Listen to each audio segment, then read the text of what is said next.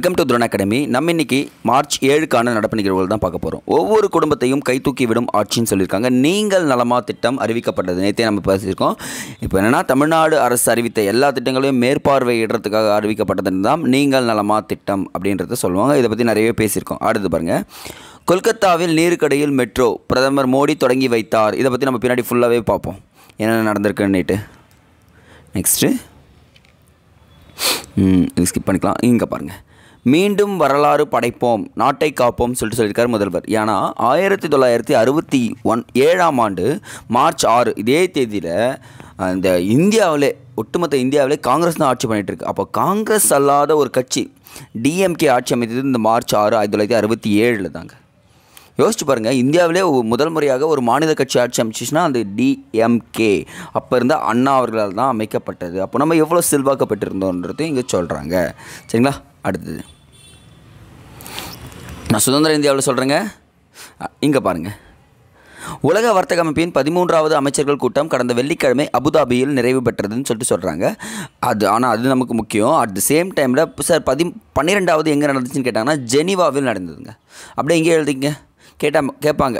பன்னிரெண்டாவது அமைச்சரவை கூட்டம் உலக வர்த்தக அமைப்பு எங்கே நடைபெற்றதுன்னு கேட்டாங்கன்னா ஜெனிவான்னு சொல்லிட்டு சொன்னால் போதுமானது. மற்ற எல்லாமே இதெல்லாம் கிரிட்டிக் நியூஸாக இருக்குது ஜஸ்ட்டு தெரிஞ்சிங்கன்னா போதும். இந்த இது முக்கியங்க. இன்னைக்கான திருக்குறள் பார்க்கலாமா? கலங்காது கண்ட வினைக்கண் துலங்காது தூக்கம் கடிந்து செயல் அப்படின்றாங்க. ஓகேங்களா? அப்படின்னா என்னென்னா மனம் கலங்காமல் ஆராய்ந்து துணிந்து ஏற்ற தொழிலை சோர்வு இல் இல்லாமல் காலம் தாழ்த்தாமல் செய்து முடிக்க வேண்டும். எந்த ஒரு விஷயமும் மனம் கலங்கவே கூடாதுங்க. நீ ஒரு விஷயத்தை செய்ய ஆரம்பிச்சிட்டுனா அதில் சோர்வு அடையவே கூடாது காலம் தாழ்த்தவும் கூடாது. டைம் போட்டிங்கன்னா அந்த டைமை கரெக்டாக கீப் அப் பண்ணுன்றத இங்கே சொல்கிறாங்க அடுத்தது. நெக்ஸ்ட்டு நாளையுடன் பணி நிறைவு பெறுகிறார் மாநில தலைமை ஆணையர் வே பழனிக்குமார். அவர் வந்து பார்த்திங்கன்னா தமிழ்நாட்டின் மாநில தலைமை தேர்தல் ஆணையர் இருந்திருக்காரு. ஸோ இவர் பணி நிறைவு பெறாரு நெக்ஸ்ட் அப்பாயின்மெண்ட் யாருன்னு சொல்கிறத நான் உங்களுக்கு சொல்லிடுறேன். சரிங்களா? இங்கே நோட் பண்ணுறீங்களா இந்த பன்னிரெண்டு திட்டங்களை நோட் பண்ணி பார்க்கலாம்.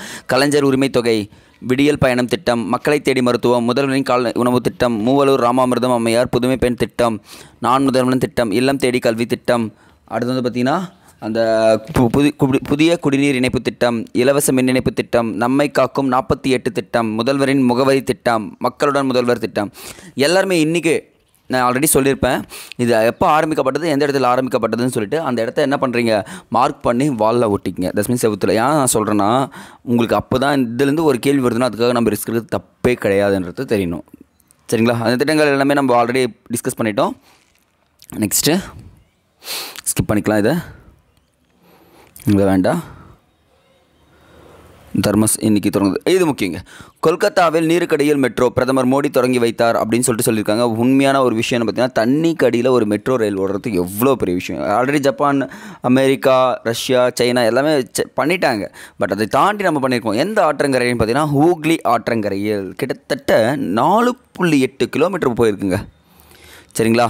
நாலு புள்ளி எட்டு கிலோமீட்டர் நீங்கள் யாரா கொல்கத்தா போனீங்கன்னா கண்டிப்பாக இதெல்லாம் விசிட் பண்ணிவிட்டு வாங்க. சரிங்களா? அப்போ நான் என்ன கொஷின் கேட்க போகிறேன்னு உங்களுக்கு தெரிஞ்சுட்டு இருக்குமே இன்றைக்கான கேள்வி என்னென்னா இந்திய ரயில்வே எப்பொழுது தேசியமயமாக்கப்பட்டது? புரியுதுங்களா? தேசியமயம்.